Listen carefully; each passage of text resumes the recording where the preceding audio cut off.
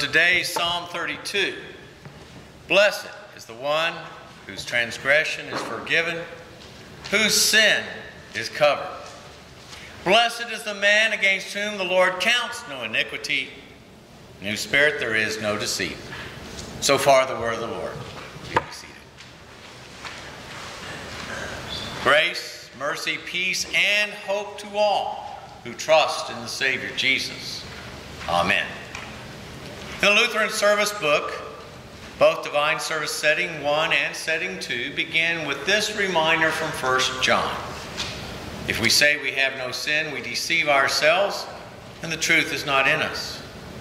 But if we confess our sins, God, who is faithful and just, will forgive our sins and cleanse us from all unrighteousness. In Divine Service Setting 3, the call to confession is taken from Hebrews chapter 10. Beloved in the Lord, let us draw near with a true heart and confess our sins unto God our Father, beseeching him in the name of our Lord Jesus Christ to grant us forgiveness.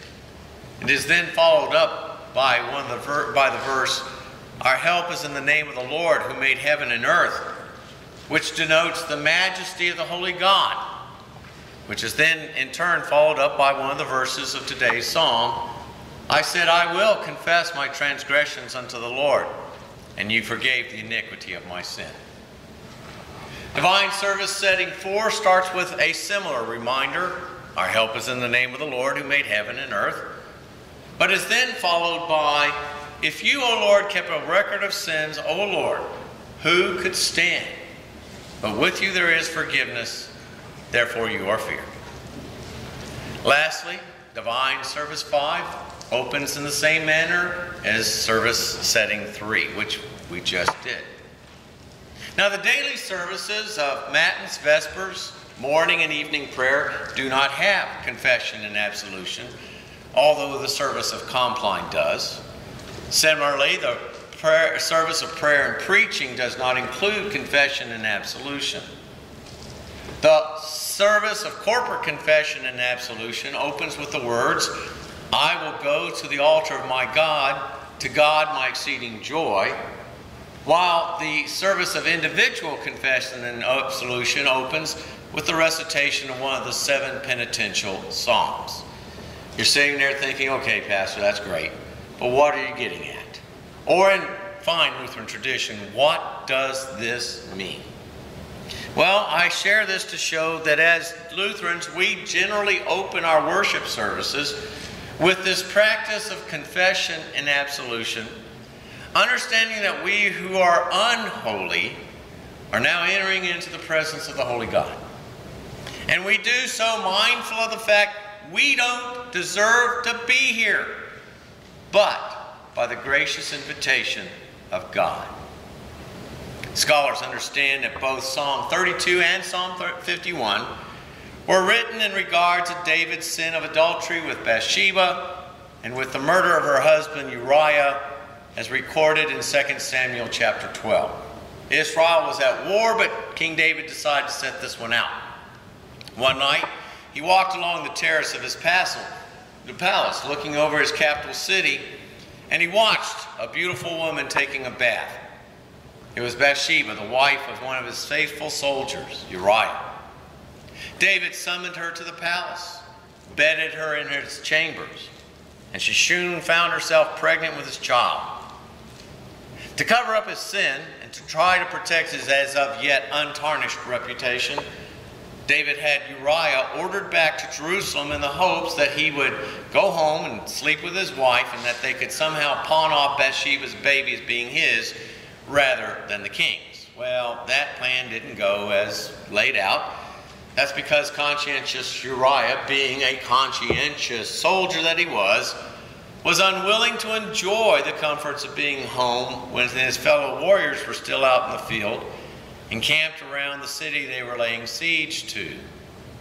And so David ordered him back to the front.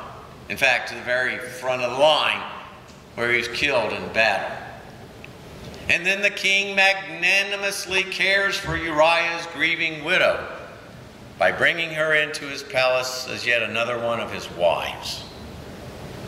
Now, you know, all kinds of rumors had to be going around. Too many people knew what had really happened.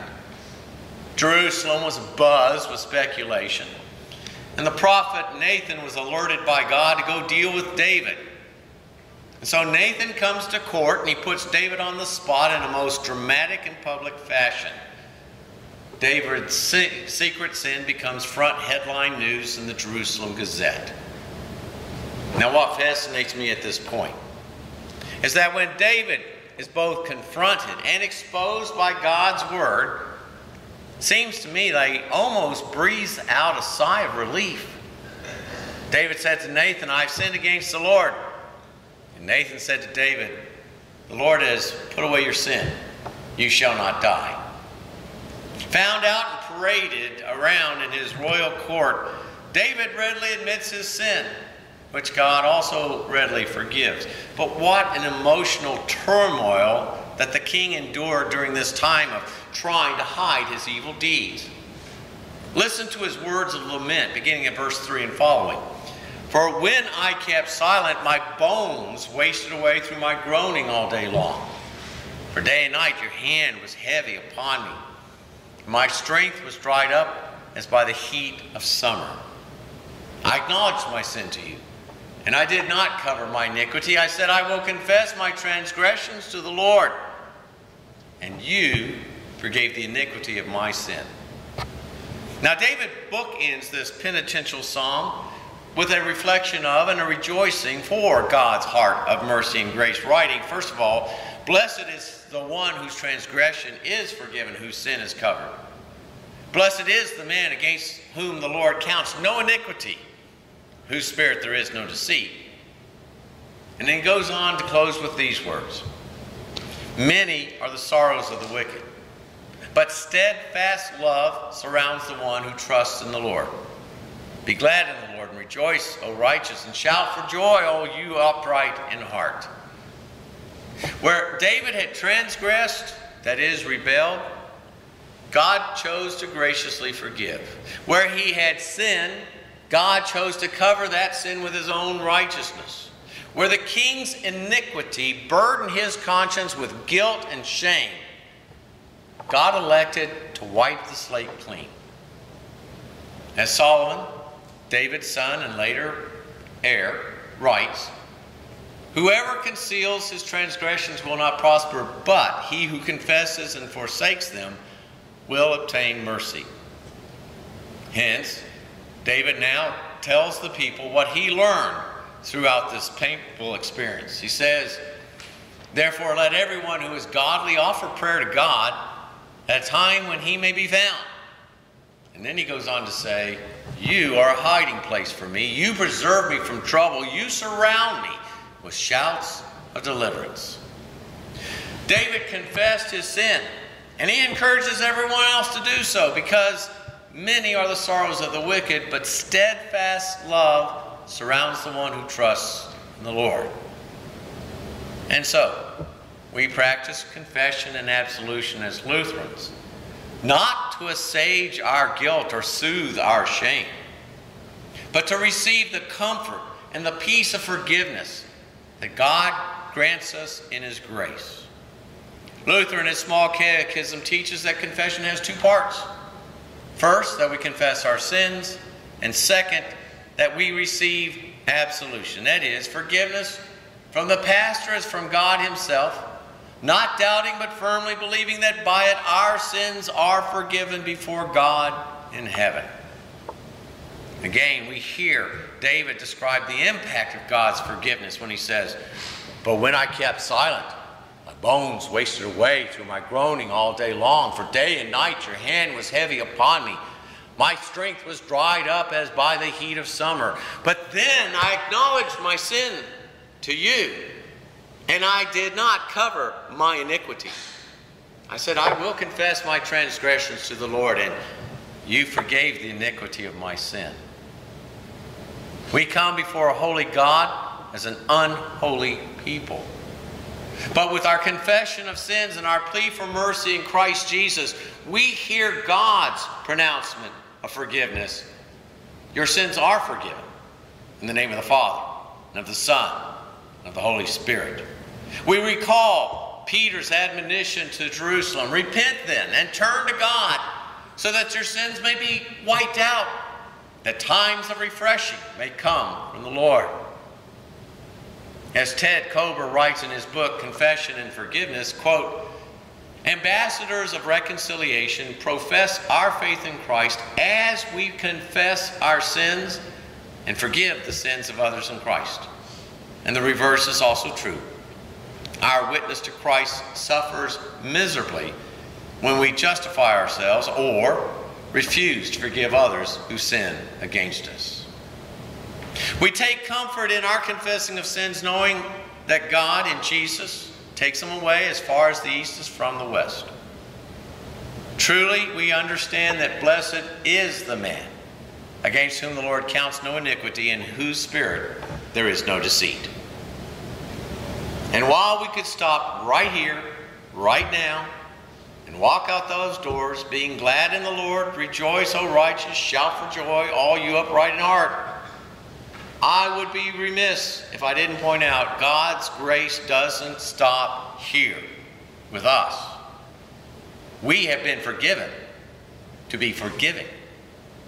Now, while there is evil out in the world that needs to be opposed with the truth of God's word, our goal is not to be running around condemning and bringing people to God's wrath, but to bring them to the realization of God's grace, being there for them. You know, our society has become so fixated on shaming people on social media, canceling those who refuse to bow the knee to their false narratives. Hurting people just don't need any more pain. They need to be pointed to Jesus. I invite you to turn your Bible to the second letter of St. Paul to the Corinthians. Turn to chapter 5. Find verse 16. That's where I'm going to begin. Listen to what the apostle writes. From now on, therefore, we regard no one according to the flesh. Even though we once regarded Christ according to the flesh, we regard him thus no longer. Therefore, if anyone is in Christ, he is a new creation. The old has passed away, behold, the new has come. And all this is from God, who through Christ reconciled us to himself and gave us the ministry of reconciliation. That is, in Christ, God was reconciling the world to himself, not counting their trespasses against them, and entrusting to us the message of reconciliation. Therefore, we are ambassadors for Christ God making his appeal through us. We implore you on behalf of Christ, be reconciled to God. For our sake, he made him to be sin who knew no sin, so that in him we might become the righteousness of God. You see, just as David shared with the people the anguish of trying to keep his sin hidden, and the relief and the release that came out of his confession of sins and God's absolution, we who have been forgiven by God in Jesus are called upon to forgive others in Jesus' name wherever and whenever possible. Remembering that many are the sorrows of the wicked, but that steadfast love surrounds the one who trusts in the Lord. May we who have been blessed by Jesus strive to be a blessing to others in his name. And so go out and be glad in the Lord and rejoice, O righteous. Shout for joy, all you upright in heart, because Jesus makes it so. And all God's people said, Amen. If you would,